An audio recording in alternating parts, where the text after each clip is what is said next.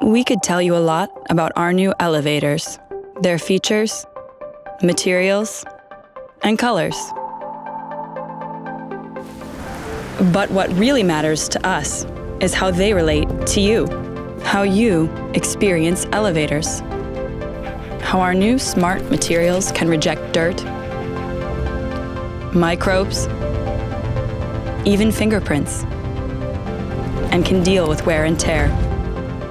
How users of buildings can connect in new ways, and how you're able to create new connections, all the way from entrances to home doors and office desks.